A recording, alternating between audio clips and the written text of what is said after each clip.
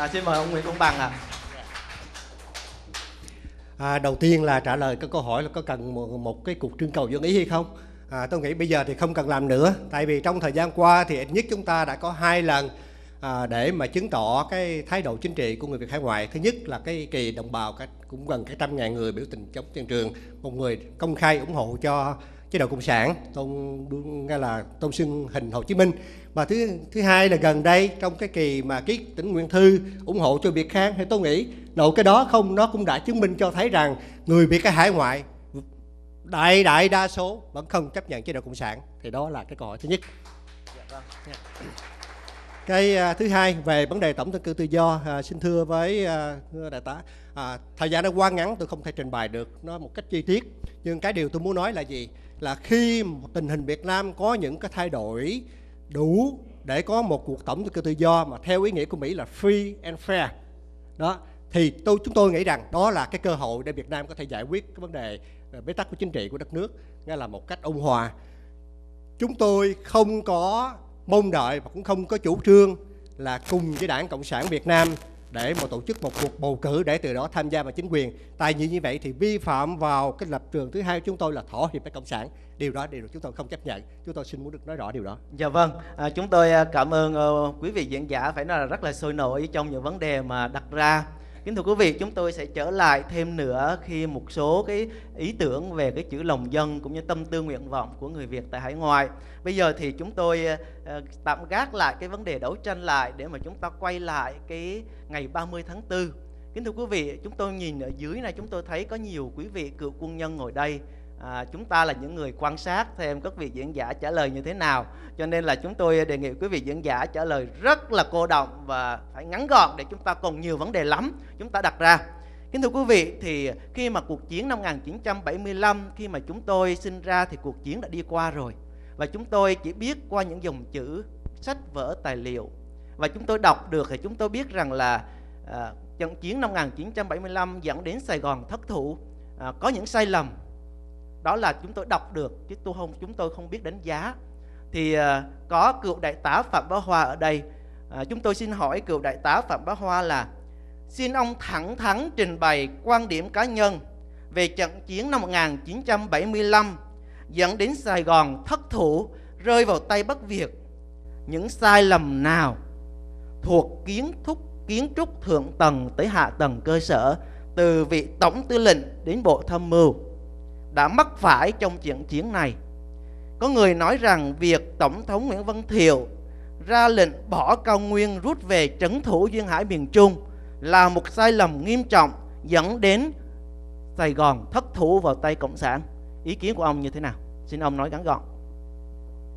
Vâng, à, tôi, tôi hỏi à, Hưng Yên lại cái chỗ à, cái phần cái ý đầu đó nói rằng là trận chiến 7 75 thì ý nghĩa rằng chỉ hỏi từ đầu năm 75 hay là nói chung là cái cuộc từ chiến? cái tổng tấn công mà cộng sản Việt Nam là cuộc chiến tổng tấn công mùa xuân năm 1975 có nghĩa là bắt đầu để tấn công vào từ miền vị tuyến 17 cho tới cao nguyên lần lần lần xuống Đà Nẵng Nha Trang thì bắt đầu cuộc chiến đó thì đã có những sai lầm gì về tổng tham mưu cũng như vị uh, tổng thống của chúng ta trong cái vấn đề mà đi, gọi là điều binh khiển tướng? Vâng cái này tôi xin phép để gộp hai ý lại là một Thưa quý vị nhớ rằng là cái ngày mà 7 tây tháng 1 năm 1975 đó thì chúng ta mất cái Phước, Phước Long. Rồi đến cái ngày tối ngày 9 rạng ngày 10 tây tháng 3 của 75 thì nó bắt đầu tấn công vào băng thuộc và coi như là bị mất kể từ ngày 13 tây tháng 3. Ngày 14 tây có một cái cuộc họp của ông tổng thống ở tại Cam Ranh và ngày 15 tây ông đại tướng Cao Văn Viên có ra lệnh cho tôi cung cấp phi cơ để cho trên quân đoàn 2 rút đi. Nhưng mà cái lệnh này hoàn toàn chúng tôi không biết để làm cái gì. Nghĩa là ông ừ, giữ bí mật đến mức mà ngay cả chúng tôi cấp cái phương tiện mà chúng tôi cũng không biết. Để tôi ngưng cái chỗ này tôi trở lại một chút. Tôi phải nói đến cái ngày mà sau cái khi mà mà cái hiệp định mà ngày 27 tháng giêng mà, mà của 1973 nó ra đời đó thì nó dẫn đến cái chuyện thế này. Tôi có cảm tưởng rằng là lúc đó cái quyết đại tá phạm bá hoa hưng yên muốn đại tá phạm bá hoa nói vô là liệt kê những sai lầm nào để cho chúng ta có thể rút ngắn thời giờ. Thì cái chỗ này nó dẫn đến cái sai sai, sai lầm. Dường như cái chỗ này đó lãnh đạo chúng ta tin tưởng ở cộng sản. Dạ. Vâng. bằng chứng là có hai cái tôi tham gia hai cái sự kiện. Thứ nhất là tham gia trong cái phái đoàn chính phủ sang Singapore để nghiên cứu về xây dựng chiều cao và cái cảng Sealand để mà xây dựng cho Việt Nam. Cái thứ hai là tôi tham dự trong hội thảo tại trường cao đẳng quốc phòng về cái vấn đề mà phát triển quốc gia, trong có đại để rằng là cơ quan chính phủ sẽ từ Sài Gòn qua bên Thủ Thiêm, tất cả quân đội thì, các cơ sở quân đội thì dọc theo cái mà xa lộ biên hòa lên tới biên hòa. Có một cái phi trường thứ hai lớn ở trên cái biên hòa, trên đó, và vân vân. Đó là cái cái ngồi, cái hội thảo, đó là một tuần lễ lần cơ. Thì tôi có cảm tưởng rằng không biết rằng sao còn cái gì nữa, nhưng mà rõ ràng cái nhìn từ bên ngoài đó là có sự tin tưởng. Nó dẫn đến đến cái chỉ mức mà đến cái ngày mà khi mà bị tấn công vào phước phước long, một cái bất ngờ. Không có được sự cái sự một cái dữ liệu trước, ngay cả phòng 2 tổng tham mưu không có được dự báo những cái tin tức Việt Cộng gì hết, cho đến khi nó đánh vào mới là biết. Thành thử là đó là cái bất ngờ. Rồi nó dẫn đến cái bất ngờ thứ hai là tưởng rằng nó đánh đó, nó đánh ở bên, trên ờ, Pleiku lo phòng thủ Pleiku tôi là tham mưu trưởng tiếp nhận tôi có trách nhiệm chuyển mà lực lượng, các cái đạn dược, thức ăn thực phẩm và nhiên liệu lên trên Pleiku công tôm dự trữ cho hai chục ngàn quân để mà giữ cái Pleiku trên đó. Nhưng không phải, tối 9 tây và rạng ngày 10 của tháng 3 nó đánh 30 thuộc. Thì lúc đó mới là đi họp họp với nhau rồi ra lệnh rút bỏ ở trên. Thì khi mà rút bỏ, cái đoàn quân, nghĩa là sáng cái ngày 17 tây là khi mà chúng tôi cung cấp cho phi cơ lên trên đó rồi, thì trên đó báo về cho bộ chỉ huy hành quân không chiến, bộ chỉ huy hành chiến báo lại cho tôi rằng, bây giờ ở Pleiku không có một con chó ở ngoài đường nữa.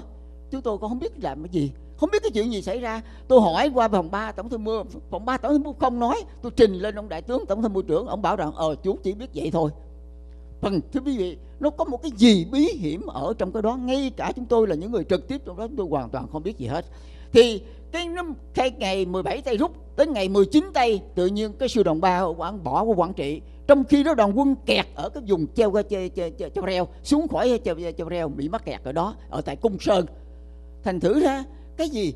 Khi mà ông tổng thống ông ra một cái lệnh để mà rút bỏ ở trên cái Pleiku con tâm về thì không biết rằng bởi vì thông thường một cái vị lãnh đạo mà ra một cái lệnh có cái chiến lược thì phải dự trù, ước tính cái tình hình nó sẽ xảy ra cái gì. Nhưng dường như cái này ông tổng thống không có cái dự, ước tính gì cả. Cho nên rất là bất ngờ 17 tây đồng quân còn mắc kẹt thì 19 tây đã bỏ ở ngoài ngoài quảng trị rồi.